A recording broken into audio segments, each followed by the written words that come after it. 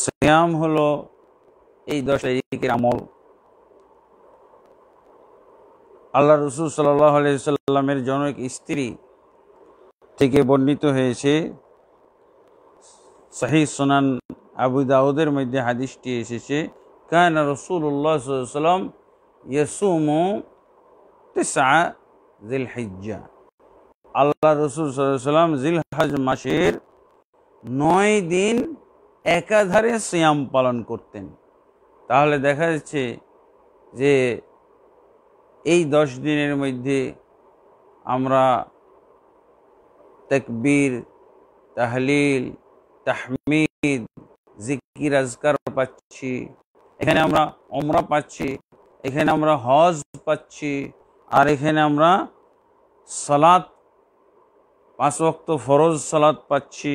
এবং ফরজ সালাতের পাশাপাশি নফল এবং সোনান, সুন্নত সালাদগুলো আমরা পাচ্ছি। রসুল্লাহ সাল্লাম বলছেন লাকর্রব ইলাইয়া নওয়াফিলি। যে কোনো ব্যক্তি আল্লাহর কাছে নওয়াফেল, নফল এবাদতের মাধ্যমে নৈকট্য অর্জন করতে থাকে এবং সে এতই নৈকট্য অর্জন করে করে ফেলে যে আল্লাহ তবরকতলা তাকে নিবিড় করে নেন, তাকে অত্যন্ত ঘনিষ্ঠ ব্যক্তি হিসেবে গ্রহণ করে নেন, তার সাথে গভীর সম্পর্ক আল্লাহ তবরকতলা করেন এবং বলা হয়েছে আল্লাহ তবরকতলা তার হাত হয়ে যান, তার পা হয়ে যান এবং তার চক্ষু হয়ে যান, তার কান হয়ে যান।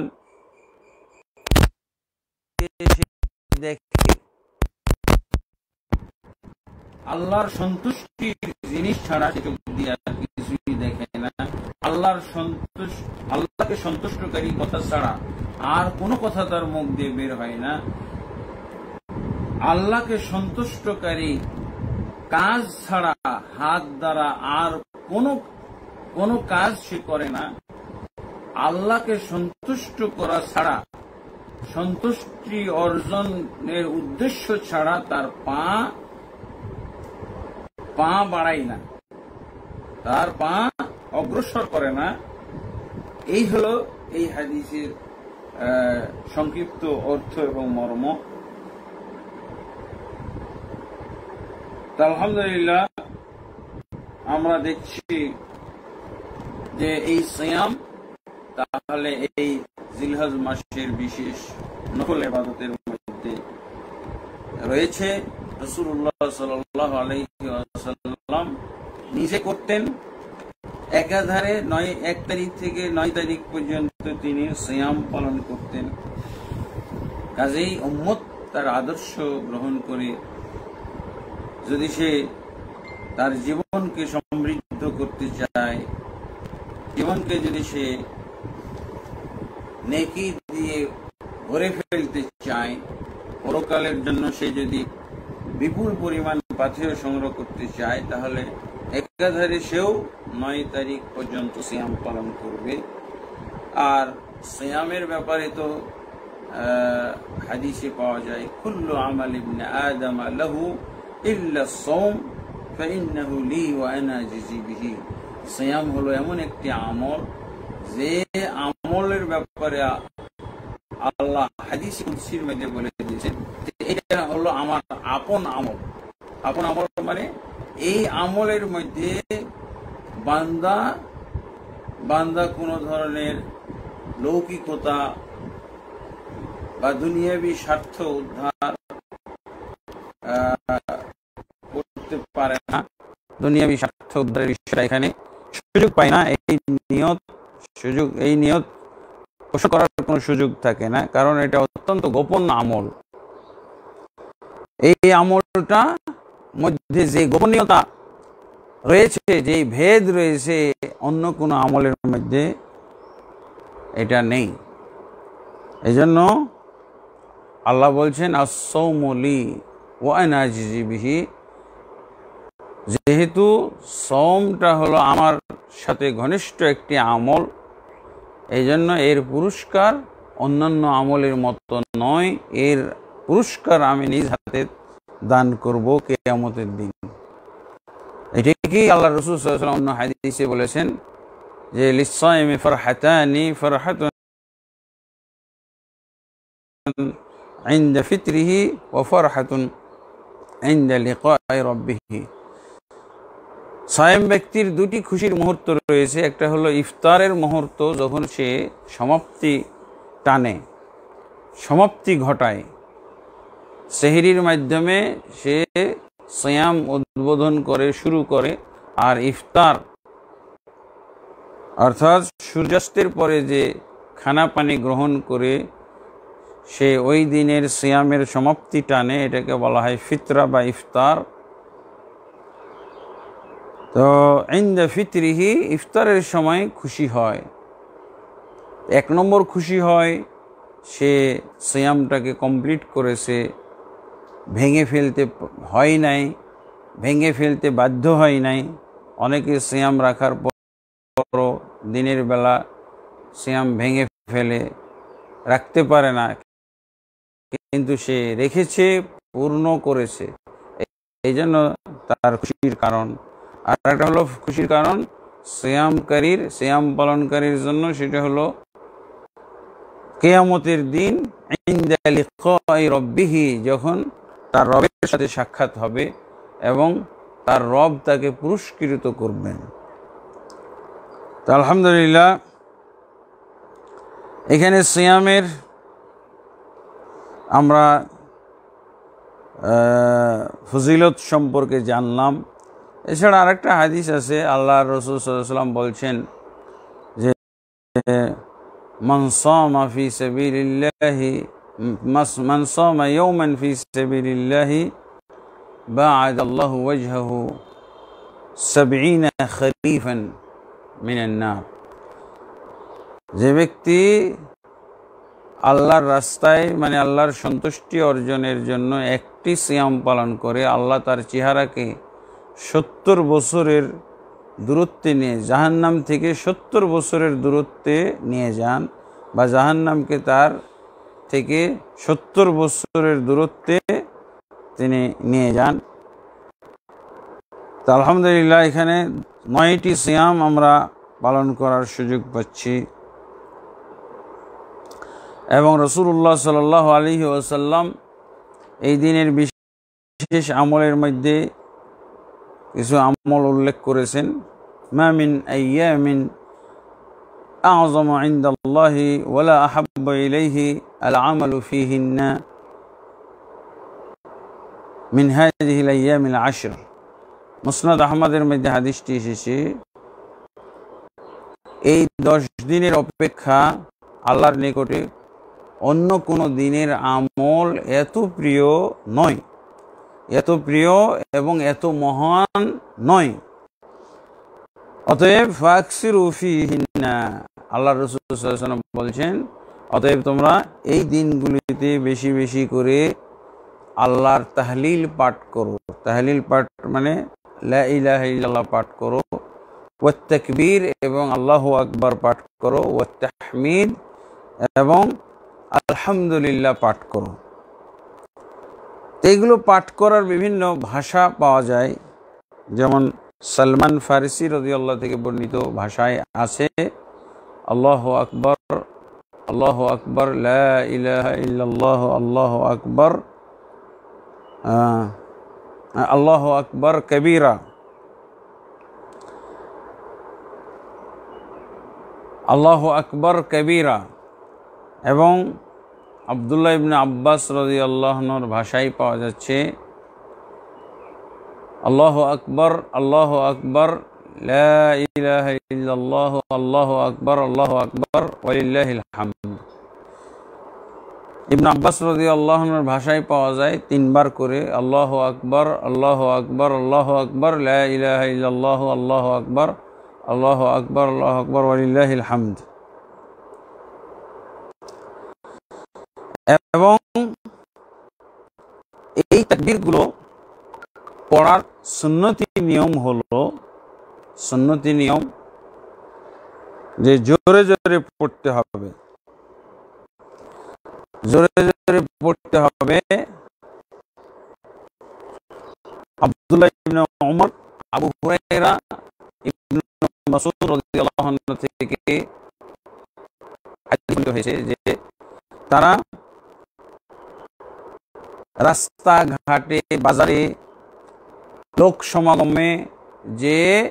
জোরে জোরে এই তাকবীরগুলো পাঠ করতেন।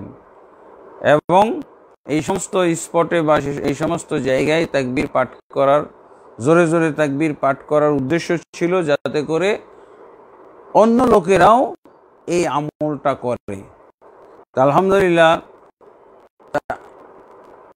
যদি কেউ অন্য লোককে উদ্বুদ্ধ করার জন্য প্রকাশ্যে কোনো আমল করে, তাহলে এটা অবশ্যই সে বাড়তি নেকি পাবে।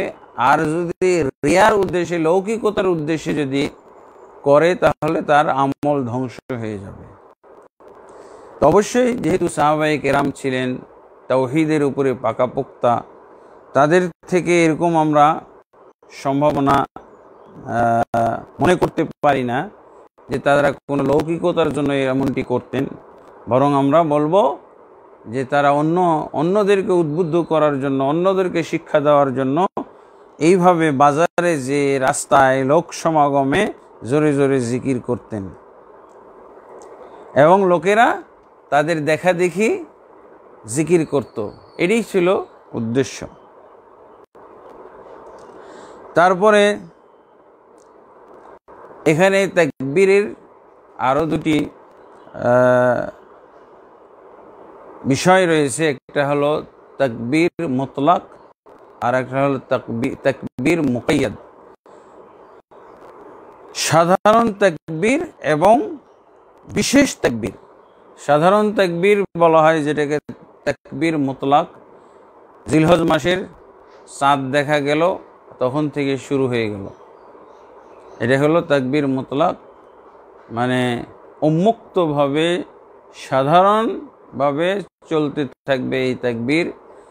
চাঁদ দেখা গেল, এরপরেই শুরু হয়ে গেল আল্লাহ আকবর আল্লাহ আকবর। আল্লাহ আকবর আল্লাহ আকবর হামদ। এটা প্রতিদিন চলবে।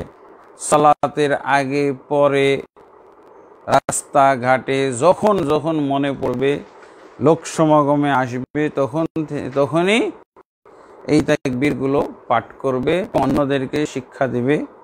এটা হলো তাকবীর মোতলাক।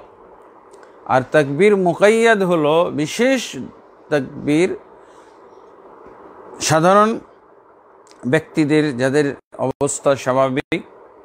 আর কিছু হলো হজের অবস্থায় হজের অবস্থায় যারা আছেন, তারা জিলহজ জিলহজ মাসের নবম তারিখে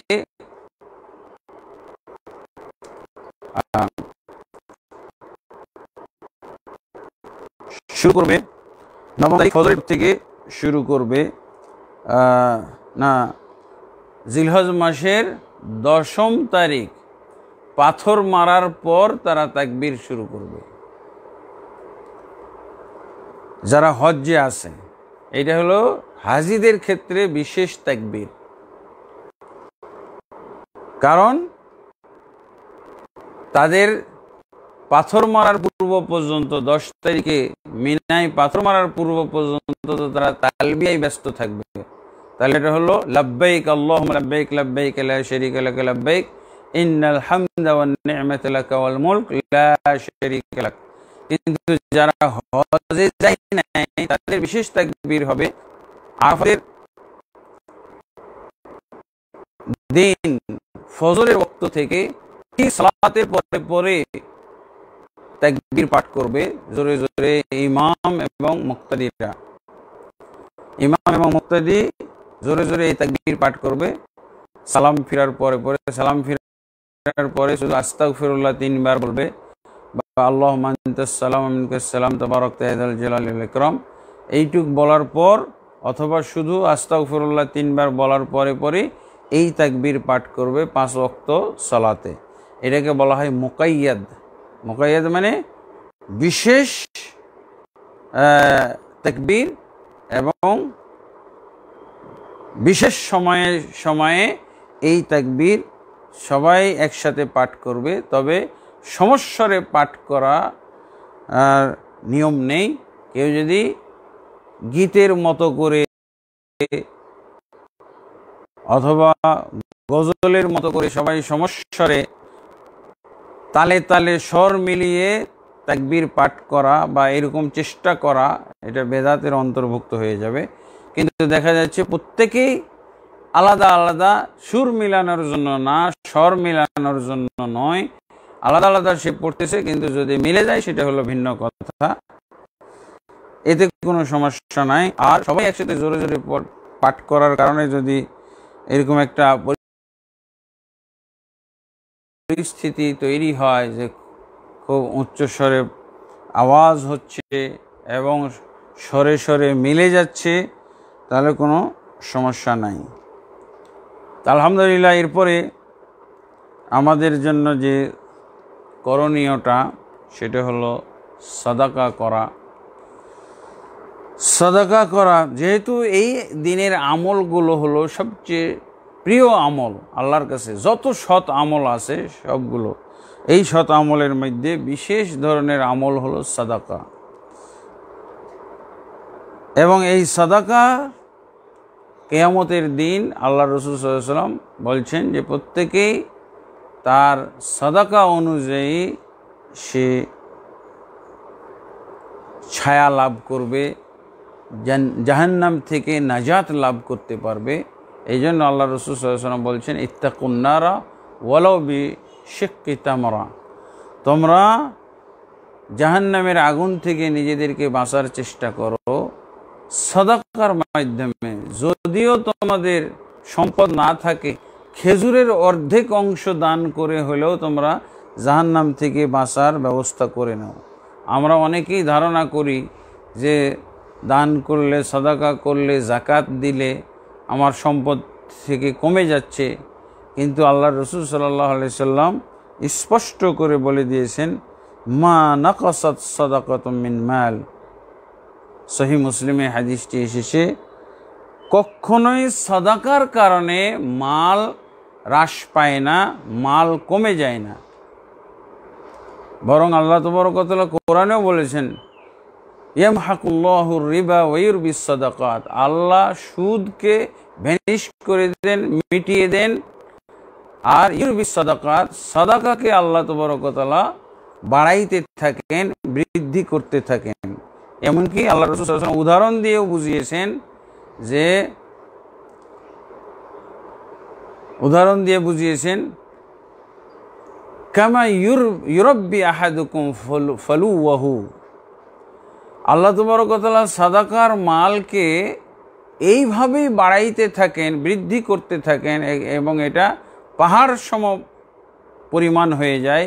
পাহাড়ে রূপান্তরিত, পাহাড়ের মতো সম্পদ কেয়ামতের দিন সঞ্চিত হয়। তার ব্যালেন্স এত বড় হয়ে যায়। আল্লাহ রসুল উদাহরণ দিয়ে বুঝিয়েছেন, যেমন তোমরা একজন পশু শাবক একজন একজন গরুর একটা বাচ্চাকে অথবা ঘোড়ার বাচ্চাকে অথবা উঁটের বাচ্চাকে বাচ্চাকে লালন পালন করতে করতে বিশাল দেহের একটা উঁট হয়ে যায় অথবা ঘোড়া হয়ে যায়, গরু হয়ে যায়, তারপরে তার মূল্যটা কতগুণ বৃদ্ধি পায়। এই রকম আল্লাহ তবরকতলা ছোট ফিগার, ছোট অঙ্ক কেউ যদি দান করে, সেটাকেও আল্লাহ বৃদ্ধি করতে করতে অনেক বড় সম্পদে পরিণত করে দেন। এটা হলো পরকালে আল্লাহ তবরকতলা সেটা তার জন্য জমা রাখেন। তো আলহামদুলিল্লাহ, আমরা সাদাকা করার চেষ্টা করব এবং সাদাকার অনেক সুন্দর সুন্দর খাত রয়েছে। যেমন মসজিদের জন্য সাদাকা, গরিব মিসকিনদের জন্য সাদাকা, ইয়াতিমদের জন্য সাদাকা, মাদ্রাসার মাদ্রাসার জন্য সাদাকা। আলহামদুলিল্লাহ, এগুলো সব সাদাকার খাত আমাদের কাছে চিহ্নিত আছে, রেডি আছে। আমরা যদি এই সমস্ত খাতে এই জিলহজ মাসের দশ তারিখে বাস্তবায়ন করতে পারি মাসের এবং জিলহজ মাসে সাদাকা করলে সেটার মূল্য অন্য মাসের চেয়ে আরও অনেক বেশি। এটা আরও বেশি আল্লাহর কাছে মহান এবং প্রিয় হয়ে থাকে। এই জন্য আমরা সুযোগ ছাড়ব না, সুযোগ আমরা মিস করব না। এটি হলো জিলহজ মাসের মূল্যায়ন। আর কিছু বিষয় আছে, যেমন এই দিনগুলোতে আল্লাহ রসুল সাল্লাহ সাল্লাম বলছেন আফজল আমাল ইন্দাল্লাহি আফজল আয়াম ইন্দাল্লাহি ইয়ৌমান নাহরি ওয়াইমাল কর্রি। আল্লাহ রসুলাম বলছেন, সবচেয়ে উত্তম দিন হল আল্লাহর আল্লাহর নিকটে কুরবানির দিন। আর একটা হলো ইয়ৌমাল কার্রি, যেদিন হাজিরা স্থির হয়ে যায়। স্থির হয় এগারো তারিখ। হাজিরা স্থির হয়ে যায়।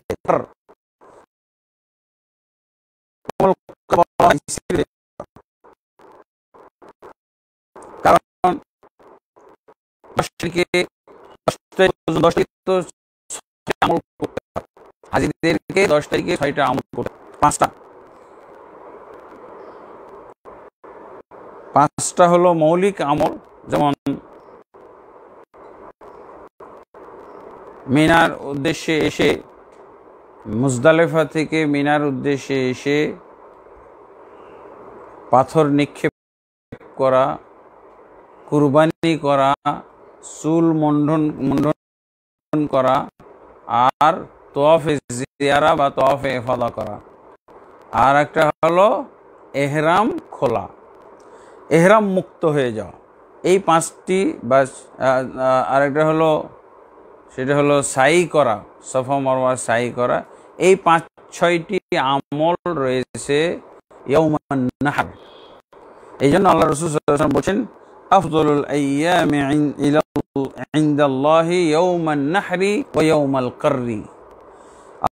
আল্লাহর কাছে সবচেয়ে প্রিয় আমল দশ তারিখের কুরবানির দিনের আমল। নাহার বলতে কুরবানির দিনের আমল। এবং এবং আল্লাহ তবরকতালার নিকটে কুরবানির দিন রক্ত প্রবাহিত করাই হলো সবচেয়ে দামি আমল। দামি আমল যেটা হাজি সাহেবেরাও করে থাকে আর যারা হজে যায় নাই তারাও করে থাকে। হজে যারা যায়, হজে যারা গিয়েছেন তাদের কুরবানির নাম হলো হাদি। আর যারা হজে যায় নাই, অথচ তাদেরকে, তাদেরকেও কুরবানি করতে হয়, তাদের কুরবানির নাম হলো উজহিয়া উদহিয়া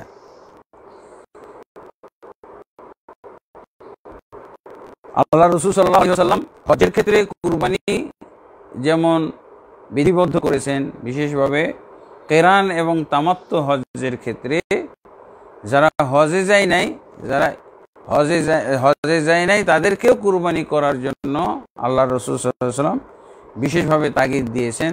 এমনকি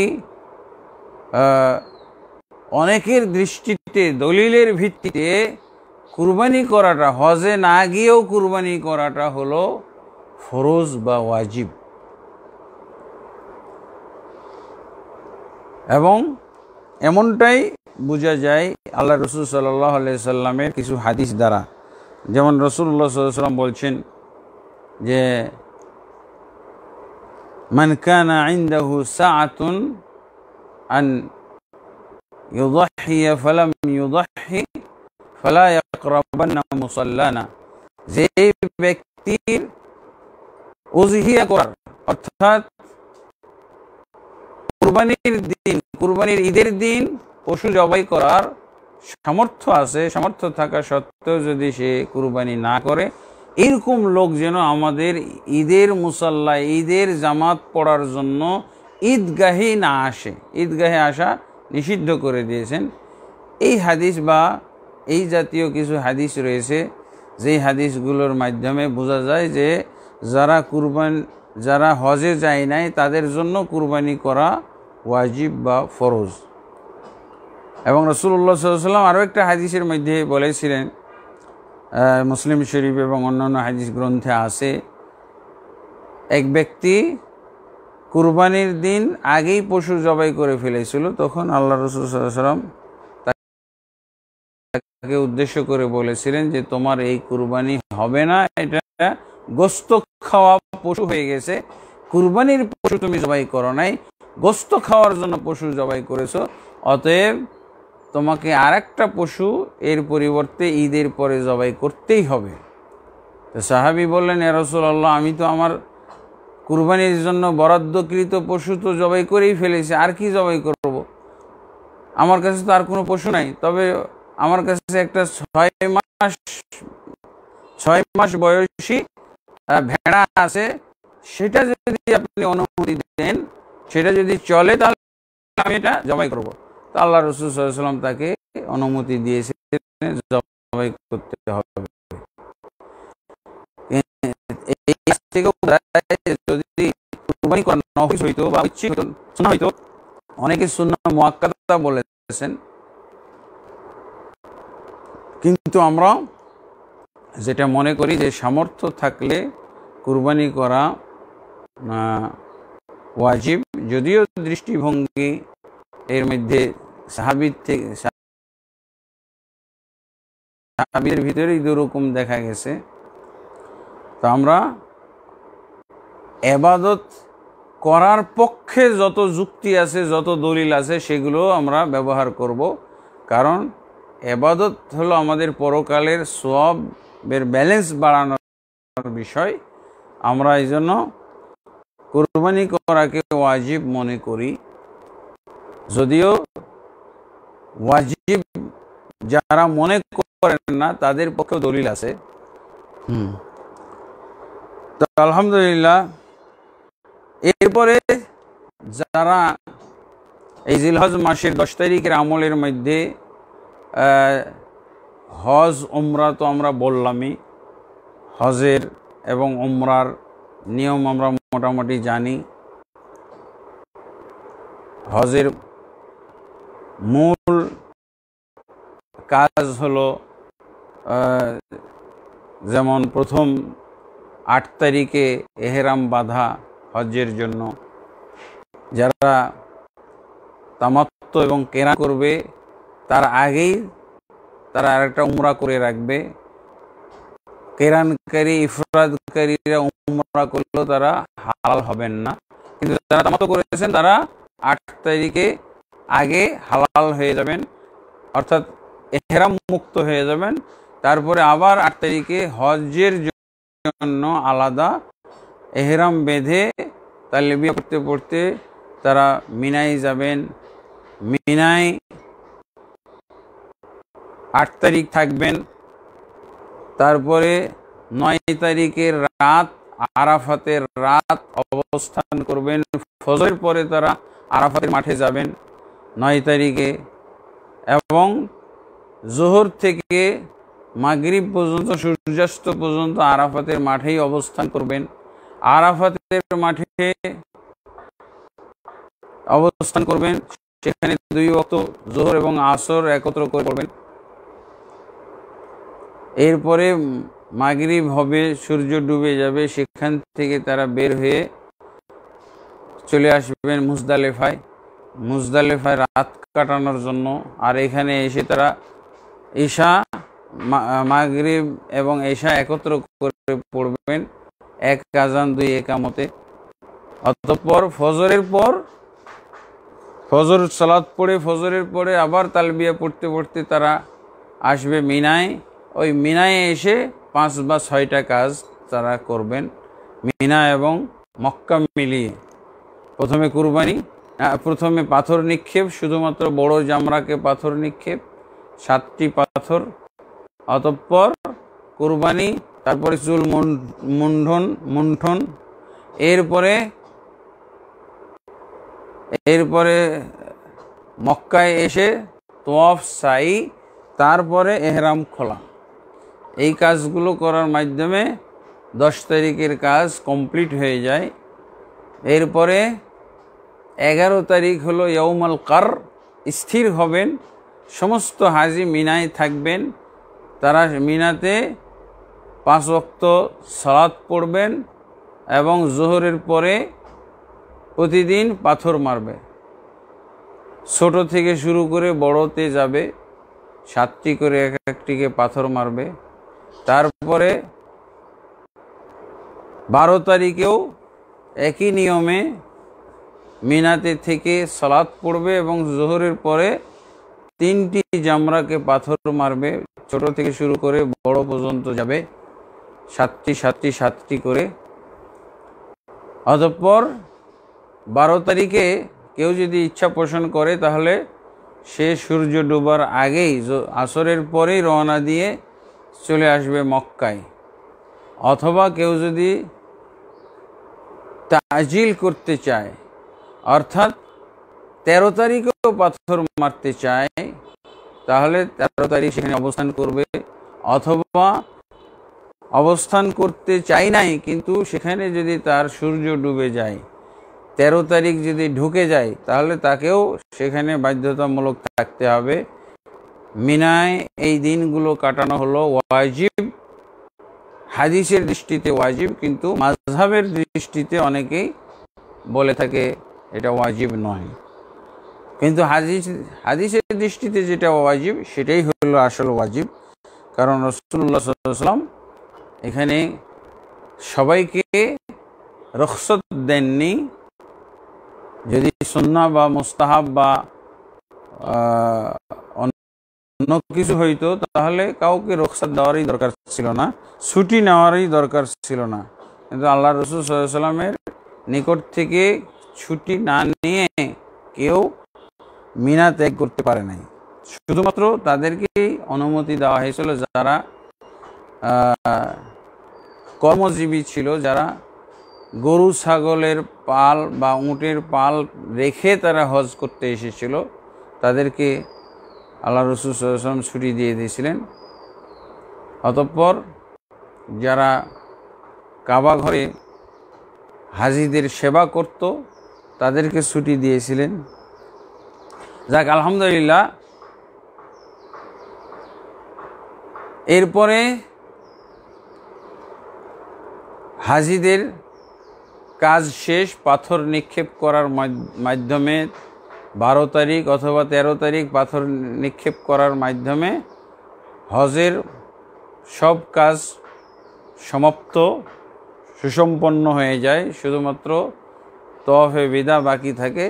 বিদায় হওয়ার দুই তিন ঘণ্টা আগে অথবা এক ঘণ্টা আগে বিদায়ী তফ আর শুধুমাত্র কাবা ঘরের সাতটা চক্কর দিয়ে দুরাকাশ সালাদ পড়ে বিদায় হয়ে চলে যাবে। এটাই হলো হজের নিয়ম। আলহামদুলিল্লাহ।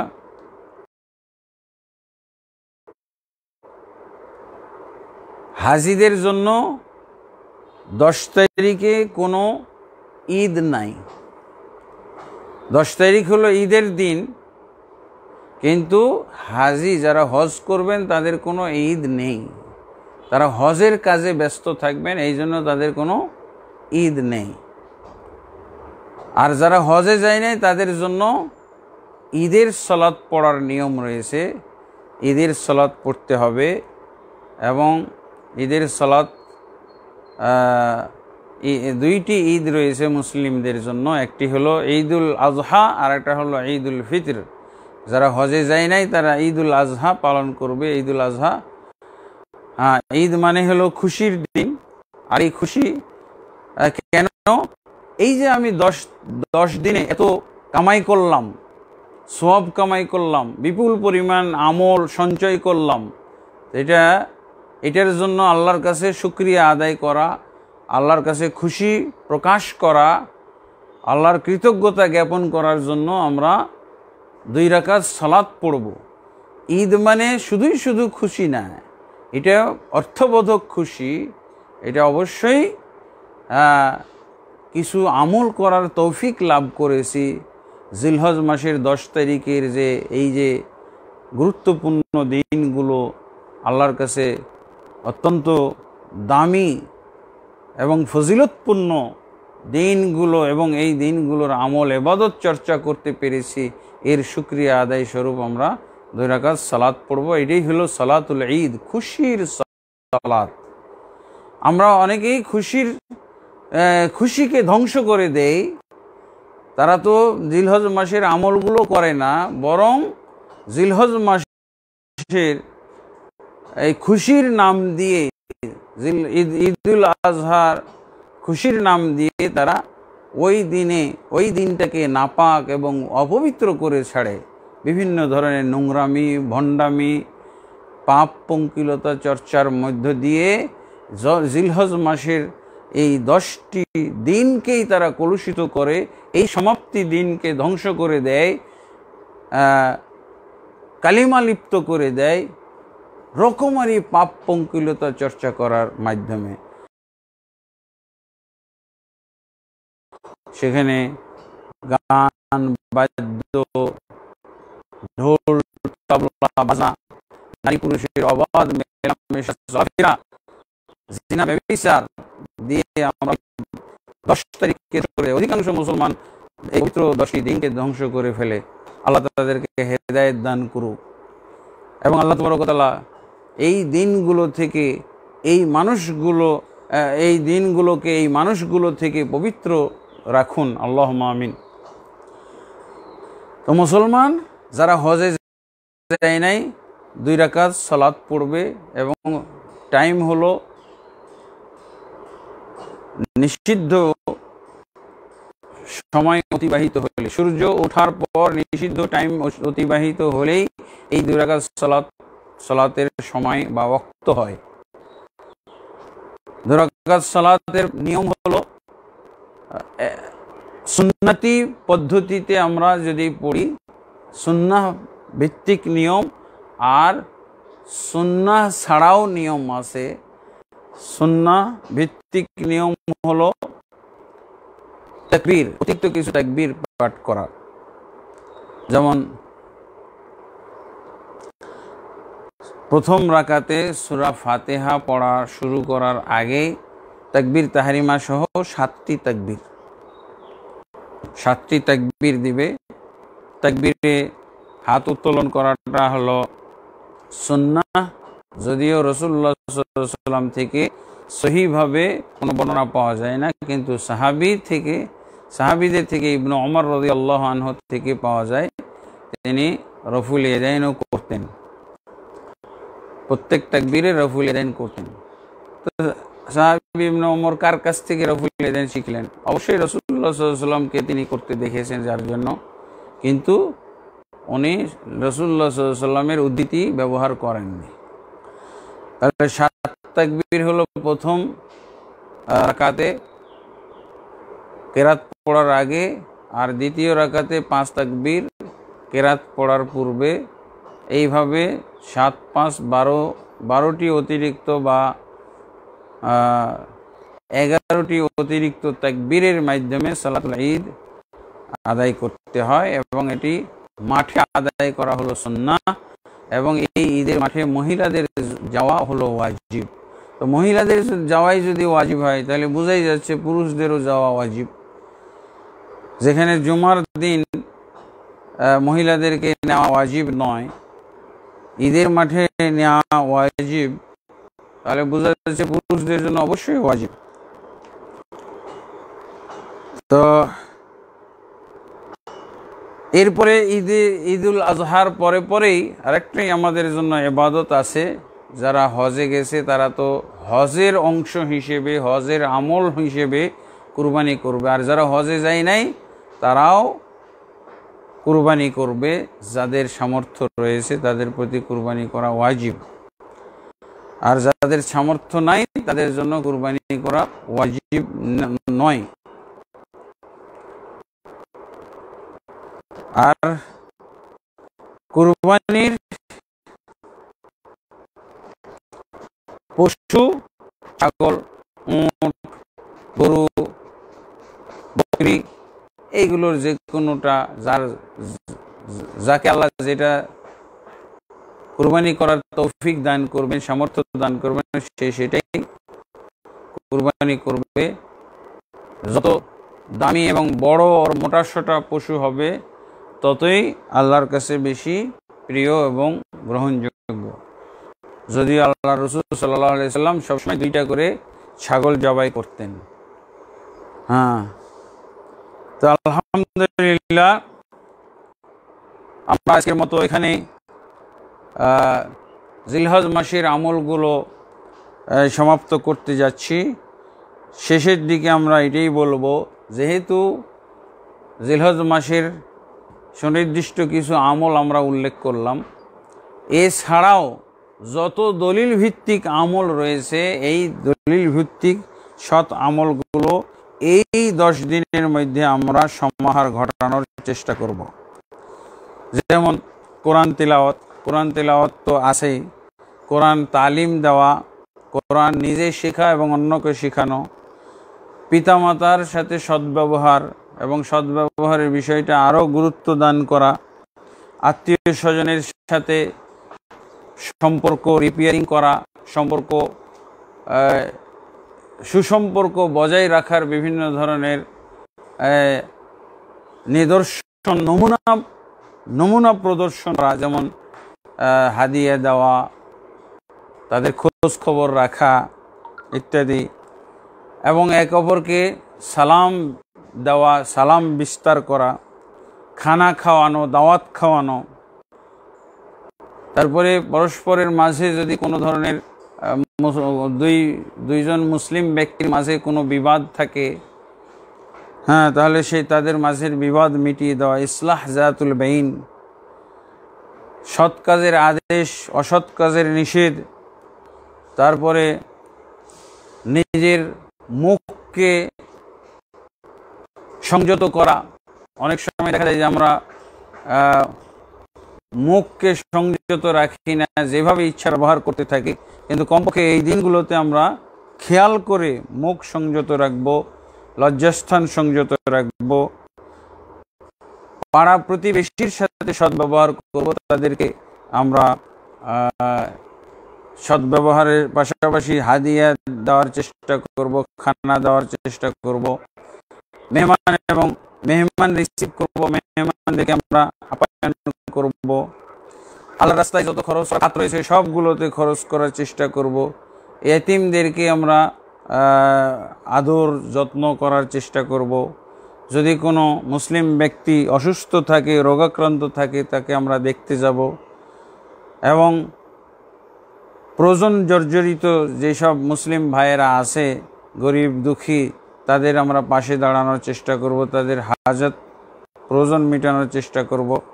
এবং বেশি বেশি নবীর প্রতি দুরুদ পাঠ করব। হ্যাঁ পিতা মাতার যদি মারা যেয়ে থাকে, তাদের বন্ধু বান্ধবদের সাথে সদ্ব্যবহার করার চেষ্টা করব। তারপরে নিজের জন্য দোয়া তো করবই। নিজের দোয়ার, নিজের জন্য দোয়া করার পাশাপাশি মমিন নর নারীদের জন্য আমরা সাধারণভাবে দোয়া করব। এই দিনগুলোতে আমাদের কাছে যদি কোনো আমানত থাকে, তাহলে সেই আমানত আমরা রক্ষা করব, আমানত পৌঁছে দেওয়ার চেষ্টা করব। এবং আমরা কারোর সাথে ওয়াদাবদ্ধ হয়ে থাকলে, কারও সাথে কোনো চুক্তি করে থাকলে সেই চুক্তিগুলো পূর্ণ করব। এবং আমাদের চোখগুলোকে সংযত রাখব, আল্লাহর হারাম জিনিস যেন আমরা না দেখি। বেশি বেশি আমরা সালাত আদায় করব, নফল সালাদগুলো এবং এর জন্য অজু করব। অজু করাটাও একটা সৎ আমল। হ্যাঁ যত ঘন ঘন অজু করব, সেটাও আমাদের গুনাহ মাফের একটা কারণ হইতে পারে।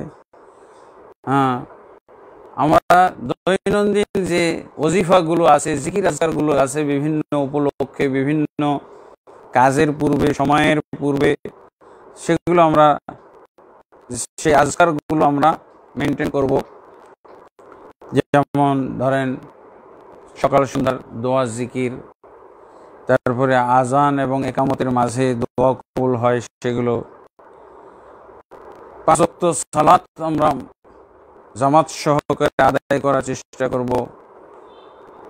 মসজিদ বাসে থাকলে মসজিদে আমরা যে আদায় করার চেষ্টা করব জামাতে, মুসলমানদেরকে খুশিতে শরিক করব। মুসলমানদের গরিব, দুঃখী মুসলমানদের মুখে হাসি ফোটানো যায় কীভাবে, সেই সেই চেষ্টা এবং সেই আমল আমরা করার চেষ্টা করব। তারপরে নিজেদের সন্তানদেরকে ভালো শিক্ষা, কোরআন শিক্ষা, আদব শিক্ষা, ইসলামী শিষ্টাচার শিক্ষা দেওয়ার চেষ্টা করব। মুসলমানদের সাথে তাওন সহযোগিতা, সাহায্য সহযোগিতা বাড়িয়ে দেব। হ্যাঁ এই ধরনের নানামুখী আমরা কাজ সম্পাদন করতে পারি। এগুলো সবই সৎ আমলের অন্তর্ভুক্ত। যা জিলহজ মাসের দশ তারিখের মধ্যে করা বাঞ্ছনীয় এবং আমরা সবাইকে যে সমস্ত দিনদার ভাই বোনেরা আমাদের সাথে সংযুক্ত আছেন, সবাই সবারই দৃষ্টি আকর্ষণ করে আমরা এই আমলগুলো করার জন্য উদ্বুদ্ধ করছি, প্রেরণা দান করছি এবং দোয়া করছি। ওফকা ওফকাকুমুল্লাহ ও ওফকান আল্লাহু জমিয়ান اللهم أصلح لنا ديننا الذي هو عصمة أمرنا وأصلح لنا دنيانا التي فيها معاشنا وأصلح لنا آخرتنا التي فيها معادنا واجعل الحياة زيادة لنا في كل خير والموت راحة لنا من كل شر اللهم آمين سبحانك اللهم وبحمدك أشهد أن لا إله إلا أنت أستغفرك وأتوب إليك السلام عليكم ورحمة الله وبركاته কোনো প্রশ্ন ছিল নাকি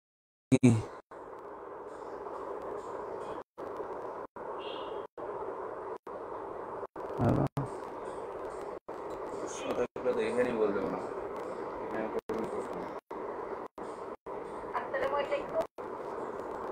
वालेकुम अस्सलाम रहमतुल्लाह वरकatuh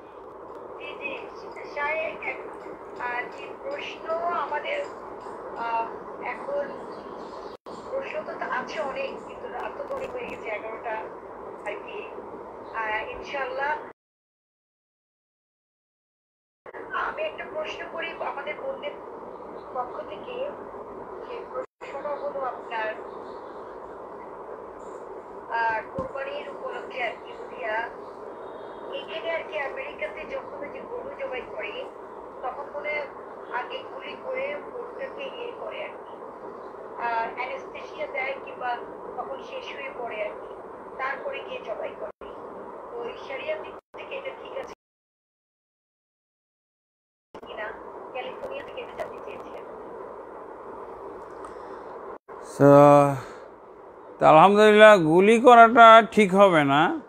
তবে যদি সেন্সলেস করা হয়, এতে করে যাতে কষ্ট কম হয়, এইটা হয়তো করা যাইতে পারে। কিন্তু গুলি করলে তো তার ডাবল কষ্ট হইল।